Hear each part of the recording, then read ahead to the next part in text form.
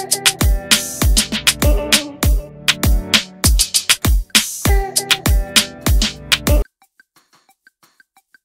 ่ลางไพ่ผอบอทอรอให้ยื่นประมูลใหม่ กู้เรือหลวงสุขโขทัยโต้ล็อกสเปกเอื้อบางบริษัทผอบอทอรอ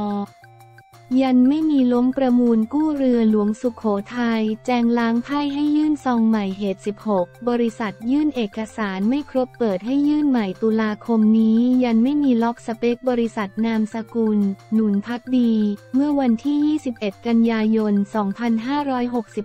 2566 ที่กองบัญชาการกองทัพเรือ บกทร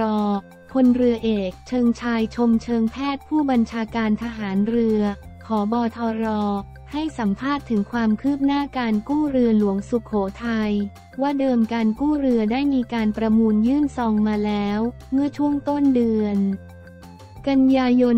66 ซึ่งบริษัทที่เสนอเข้ามาตรวจสอบเอกสารทั้ง 16 บริษัทพบว่าทุกบริษัทส่งเอกสารไม่ครบตามที่กำหนด คณะกรรมการรับซองจึงพิจารณายกเลิกการประมูลไปก่อน แล้วให้แต่ละบริษัทยื่นซองใหม่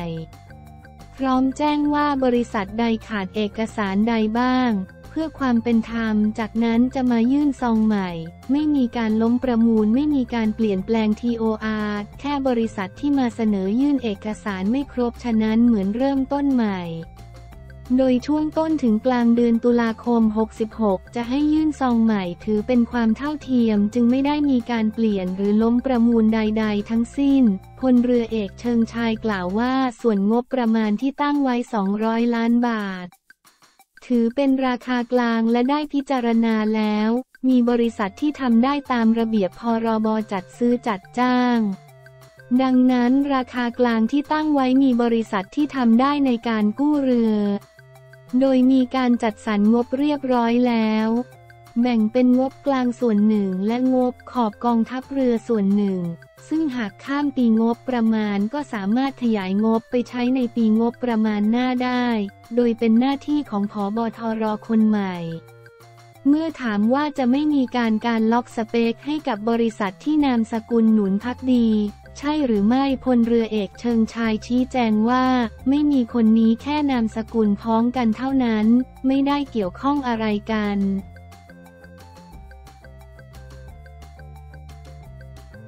ครูภัยบูลตอบปมลือลิซ่าไม่ต่อสัญญา YG เหตุอยากมาทำงานบ้านเกิดค่ายครูไพบูลย์ตอบเองชัดๆชาวเน็ตเมนต์กันพีคครูไพบูลย์ตอบแล้วหลังมีเพจเผยกระแสลืออ้างวงในบอกลิซ่าไม่ต่อสัญญา YG เพราะอยากมาทำงานบ้านเกิดค่ายโทษจาร์ดของครูไพบูลย์ จากกรณีมีเพจหนึ่งออกมาโพสต์ข้อความ ข่าวลือจากวงในลิซ่าไม่ต่อสัญญา YG เพราะอยากกลับมาทำงานที่บ้านเกิด ค่ายครูภัยบูลงานนี้มีชาวเน็ตเข้ามากเดลแชร์โพสต์และแสดงความคิดเห็นกันจำนวนมาก ด้านครูภัยบูลแสงเดือนก็ได้เข้ามาคอมเมนต์ตอบด้วยว่า คือคิดยากสิหาเพลงแทนอบาทนี่ ไผ่แต่งเพลงแนวนี้ได้ส่งมาให้เนดอครับ ข่อยแต่งเป็นตะหมอลำ55,555งือสด ขณะที่ทางเพจก็เข้ามาคอมเมนต์ด้วยว่า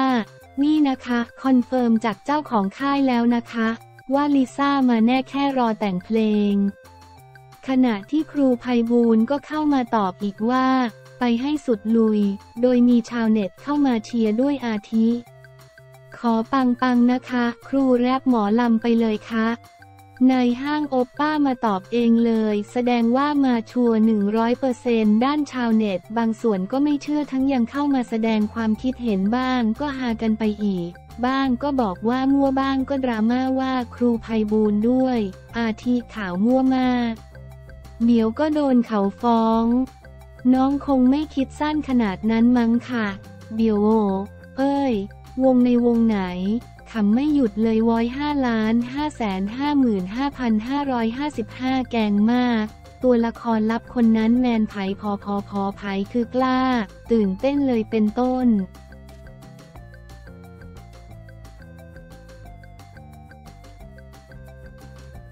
กเรียกมาตบเตือนสามรอบไม่ฟังแม้ แต่กบทรงสิทธิ์จีนรับทำผิดจะคืนดีหนิงไหมใกล้ตัวซะจนตกใจเป๊กเรียกมาตบเตือนสามรอบไม่ฟังแม้แต่กบทรงสิทธิ์จินเปิดใจครั้งแรกยอมรับทำตัวไม่ดี ผิดพลั้งไป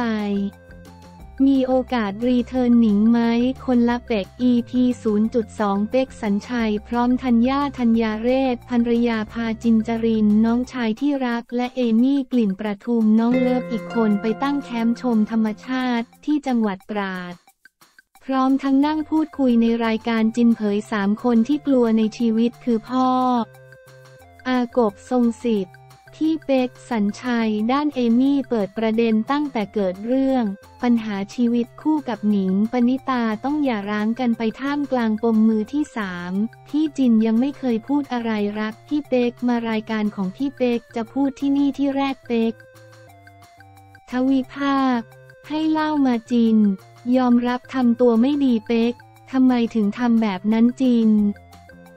เขาเรียกไม่มีสติ 11 ปีที่เราแต่งงานเราเห็นแก่ตัวในการที่เราเลิกกับภรรยาเก่าแล้ว เราไม่ควรมีคนอื่นจินรู้สึกจินผิดมาก จินผิดกับหลายคนไอ้ตอนที่มันวูบไปมันไม่มีหรอก แต่ตอนมันผ่านไปแป๊บหนึ่งมันคิดได้หมดเลย ทุกอย่างมันก็จบหมดเลยเป๊ก อาจจะหลงระเริงด้วยอะไรไม่รู้ ซึ่งที่เข้าใจดีมันผิดที่จินไม่ได้ผิดที่ผู้หญิงจินเป็นคนผิดจินต้องรับผิดชอบจิน ตอนนี้ก็กลับมาใช้ชีวิตดูแลลูกให้ดีแล้วกันทัญญากว่าจะผ่านพ้นวิกฤตมันทุกข์ใจแค่ไหน จิน เชื่อว่าทุกคนทุกไม่ใช่แค่ฝั่งจินฝั่งหนิงเขาก็ทุกเหมือนกันเขาทุกหนักกว่าจินแน่นอน มันเหมือนช่วงเวลาอะไรก็ไม่รู้ พอเรากลับมารู้สึกว่าจัดการชีวิตใหม่นะ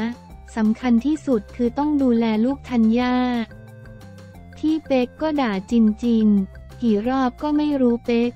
เราก็รักกนิรินร์รักหนิงเป็นพี่น้องกับเราอยู่แล้ว มันใกล้ตัวซะจนตกใจทัญญา ที่เรียกจินมาพูดอะไรเป๊ก ไม่ได้พูดอะไรเรียกมาตบจิน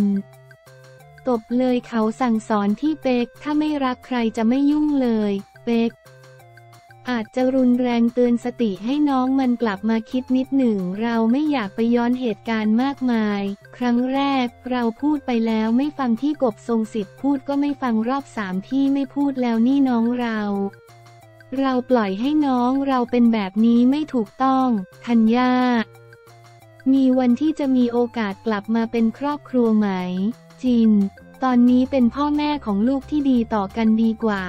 เป๊ก ตอนนี้จินก็พูดไปแบบนี้ แต่ถ้าเวลาผ่านไประยะหนึ่งมันก็มีโอกาสจิน อนาคตจินไม่รู้แต่เขาเลิกกับจินเขาสวยขึ้นนะส่องตลอดทัญญาถ้ามีคนมาจีบมีแฟนใหม่จิน เจอคนดีก็จบตอนนี้ happy อย่างนี้เอมี่ที่เป็กที่จินเพียบพร้อมมีทุกอย่างจะมีผู้หญิงเข้ามาตลอดคนไหนเข้ามาแบบหวังผลประโยชน์ เป็ก พูดจริงๆเลยทุกวันนี้ถ้ามีเข้ามา